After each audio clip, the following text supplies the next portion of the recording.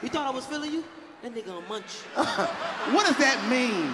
What does that mean? What does a, A munch snack? mean? What is like a snack or You just thought I a was nigga that's feeling a you? nibbler? That nigga a munch. Nigga, the fuck I eat it for lunch.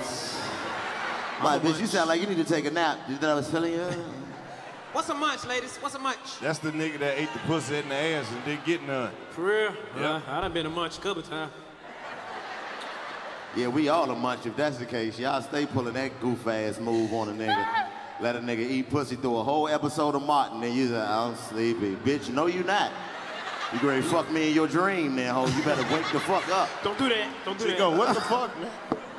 Wake her ass up, Chico. Don't you? This nigga here. Ladies, y'all be munch too. Bitch, don't act like your ass ain't never been a munch before. Yeah.